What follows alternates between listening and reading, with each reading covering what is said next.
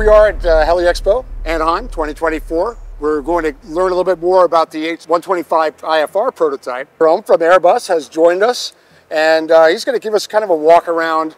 Take, take us through this and uh, tell us a little bit uh, about it. Yeah, thank you, Jack, for uh, taking some time and have a look at the H125 IFR prototype. And we took the decision last year to increase even further the mission readiness of the 125, taking the decision to certify the IFR version. So if you want to come with me and have a look at the cockpit, sure. I'll explain to you the modifications Great. we are preparing. Perfect. So basically, as you see, you can recognize that's a very um, slick cockpit. That's part of the um, uh, benefit of the, the light helicopters. You know, we always uh, make sure that, you know, the clients uh, benefit uh, from uh, what they need, from the, the latest uh, uh, innovation. Uh, it's, it's, it's all about uh, mission readiness, as I said, but it's all about also efficiency in terms right. of performance, but in terms of costs. So the modification we made is basically mostly so the screen parts. We're talking about IFR. IFR, it's all about redundancy.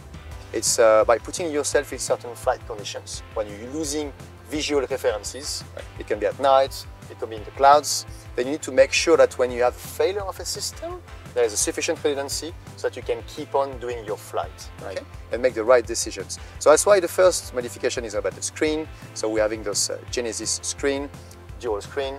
If you lose one, you can reconfigure the other one um, easily, automatically. The other add-on that we did uh, is the autopilot. Sure. So we're talking here about a three-axis uh, autopilot, also from, uh, from Genesys. Um, we made uh, a few additional modifications on the electrical system to have it also redundant and a few, a few additional features to make it completely IFR, IFR ready. So the STC is being um, uh, designed and uh, made by uh, Genesys. The aircraft was powered on this one end of last year.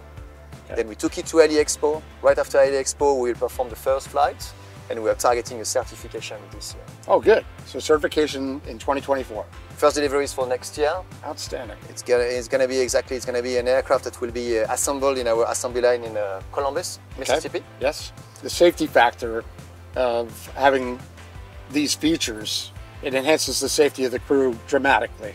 It is exactly part of the safety roadmap that uh, Airbus is having continuous improvement approach to ask ourselves, you know, what are, what are the capabilities, what are the things that we can uh, add to make sure that our clients can uh, every day perform their missions in a, in a, safe way. It's part of our priorities. So this is indeed uh, part of this roadmap. Outstanding. That's uh, an excellent priority from a pilot's point of view, certainly. The safety benefit will be uh, only possible if you accompany the modification of the aircraft, obviously with all the rest uh, of the elements that you need to have a full uh, safety um, uh, plan, which includes the training of, of the mm-hmm. pilots, right, right, obviously, and, and all the operational elements that, that, that, goes with it. So it's part, it's part of um, a full system, but you know, we as OEM, we are doing our, our job and we are uh, investing uh, in what we think you know will uh, definitely bring more more features to the to our aircraft. Perfect.